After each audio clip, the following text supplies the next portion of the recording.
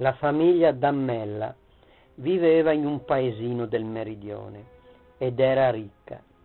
La loro casa veniva pulita da donne povere e i loro campi coltivati da uomini poveri. Li pagavano con spiccioli, neppure sufficienti a nutrirsi quanto bastava. Il padre dei Dammella gridava ordini da un lato all'altro delle vie, esigeva, tuonava, spaventava. Nelle feste i Dammella sedevano nei primi banchi della chiesa, quelli più belli e più lucidi. Da molte generazioni erano ricchi e si erano arricchiti facendo lavorare i contadini dal mattino alla sera, tante volte neppure pagandoli.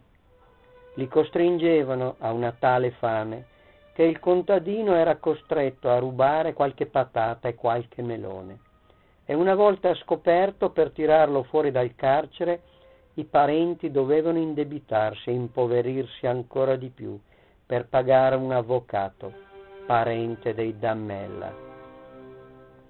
Verso gli anni 70 i Dammella vendettero parte delle terre e si trasferirono a Milano, dove comperarono delle sale cinematografiche nelle quali da alcuni anni proiettano film pornografici. Il dottor Chiamelli era un cugino dei Dammella, era il dottore del paese e tutti si rivolgevano a lui. Riceveva al mattino dopo le undici, se ne aveva voglia, e non dava mai il buongiorno ai malati.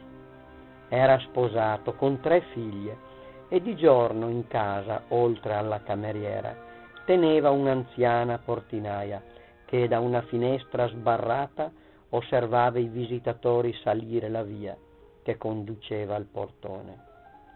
Una notte una partoriente ebbe bisogno del dottor Chiamelli.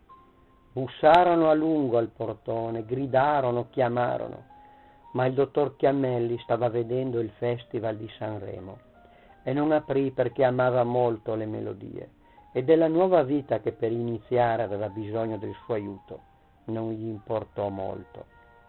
Ritornarono più volte nella notte a bussare, ma il dottore, cudutesi le canzoni, si beve alcuni amari e andò a dormire.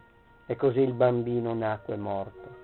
E il giorno dopo al padre, che per strada trovò il coraggio di dirgli che avrebbe meritato di essere denunciato, rispose di provarci soltanto e negò di aver passato la notte in casa.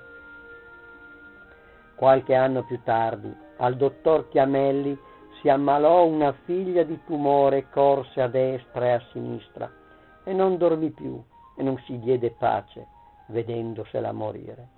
Ma ciò non lo addolcì.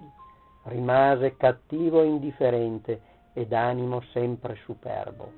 E mortagli la moglie, si trasferì anche egli a Milano, dove ogni tanto va a trovare i Dammella e parlano del loro buon tempo, quando tanta gente stava male a causa loro.